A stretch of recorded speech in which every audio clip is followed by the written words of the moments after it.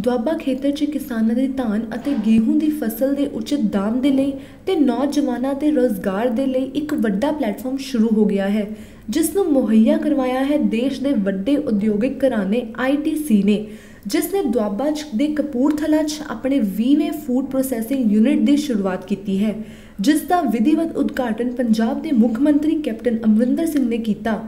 72 ਏਕੜ 'ਚ ਫੈਲੇ ਅਤੇ ਕਰੀਬ 1500 ਕਰੋੜ ਦੀ ਲਾਗਤ ਨਾਲ ਬਣੇ ਇਸ ਯੂਨਿਟ 'ਚ ਆਟਾ ਚਿਪਸ ਬਿਸਕੁਟ ਅਤੇ ਜੂਸ ਸ਼ੁਰੂਆਤੀ ਦੌਰ 'ਚ ਬਣਨਗੇ। ਅੱਜ ਇੱਕ ਖੁਸ਼ੀ ਦਾ ਦਿਨ ਹੈ ਕਿ ਅਸੀਂ ਪੰਜਾਬ ਵਾਸਤੇ ਜੋ ਬਹੁਤ ਦੇਰ ਤੋਂ ਸਾਡੀ ਮੰਗ ਸੀ ਕਿ ਇੱਥੇ ਕੋਈ ਨਾ ਕੋਈ ਇੰਡਸਟਰੀ ਆਵੇ ਸਾਡੇ ਖੇਤੀਬਾੜੀ ਨਾਲ ਨਾਲ ਸੰਬੰਧਿਤ ਜਿਹੜੀ ਇੰਡਸਟਰੀ ਉਹ ਆਵੇ। ਔਰ ਸਾਡੇ ਜਿਹੜੀ ਜਿੰਸ ਵਗੈਰਾ ਆਪਾਂ ਬਣਾਉਂਦੇ ਆ ਉਹਨਾਂ ਦਾ ਪ੍ਰਬੰਧ ਕਰੇ, ਖਰੀਦਣ ਦਾ ਤਾਂ ਕਿ ਕੀਮਤਾਂ ਕਿਸਾਨਾਂ ਨੂੰ ਹੋਰ ਮਿਲ ਸਕਣ। ਨਾਲੇ ਸਾਡੇ ਬੱਚਿਆਂ ਦੀ ਨੌਕਰੀਆਂ ਦਾ ਪ੍ਰਬੰਧ ਹੋਵੇ।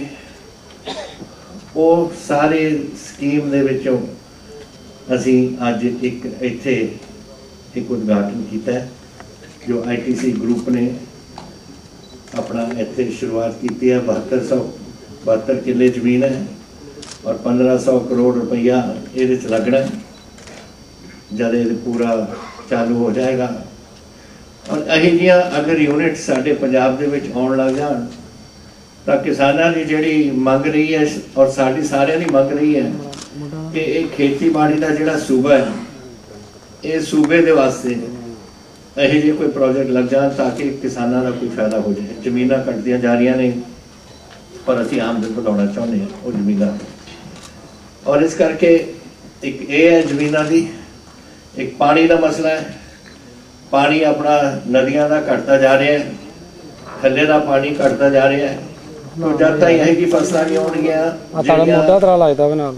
ਪਾਣੀ ਘੱਟ ਲੈਣ ਔਰ ਆਪਾਂ ਇੱਥੇ ਕਰ ਸਕੀਏ ਇਹ ਪੰਜਾਬ ਦਾ ਨੁਕਸਾਨ ਤੋਂ ਇਹ ਹੋਣ ਲੱਗਿਆ। ਕਪੂਰਥਲਾ ਤੋਂ ਨਰੇਸ਼ ਖੋਸਲਾ ਦੇ ਨਾਲ ਸਾਜਨ ਕੁਮਾਰ ਦੀ ਰਿਪੋਰਟ ਚੈਨਲ 2